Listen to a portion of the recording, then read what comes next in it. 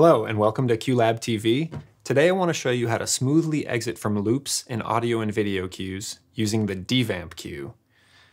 To add a special twist to it, I'm going to use QLab 5's new collaboration feature to make my changes over the network.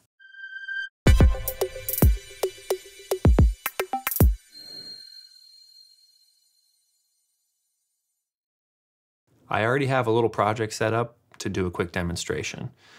If you look here in the time and loops tab of my audio cue, and on the left here, I have an infinitely looping slice, and on the right, I only run this section once.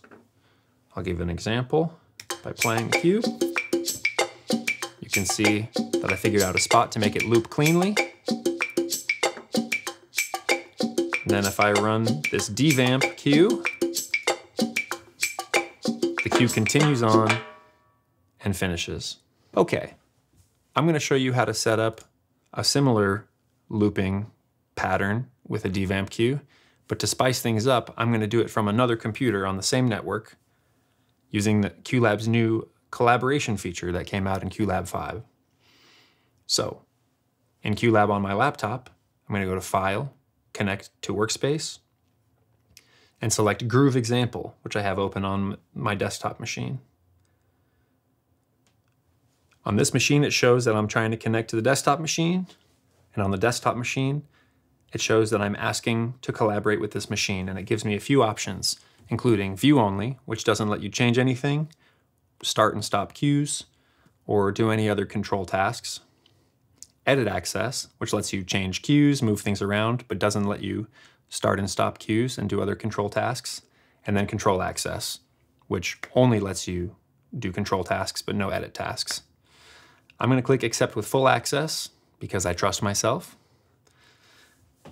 And now you can see on my laptop that I have the same workspace as on my desktop available to edit. I can go into the groove cue and see my waveform, my infinite loop. I can run this cue. I can run the devamp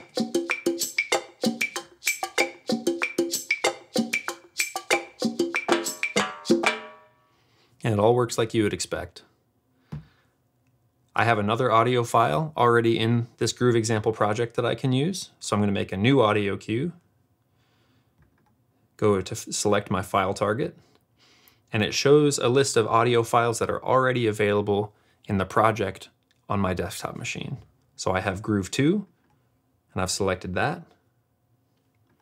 When I go to the Time and Loops tab, it gets ready to show me the waveform so that I can make a loop. And now I'm going to try to make a smooth loop out of this.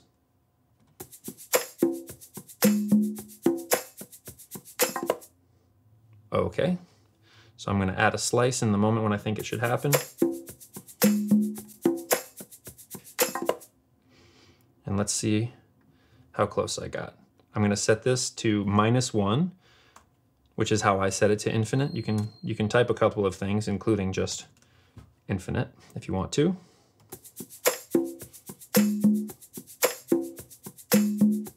That's pretty good. Now, I want to make a devamp cue, which I can find up here in the cue bar under devamp, or under the cues menu, under devamp. And as you can see, because I had that cue selected already, it automatically targeted Groove 2 for the devamp. And then if I run the devamp, the cue exits. So that's devamp and a little preview of how QLab's new collaboration feature works. Thanks for watching.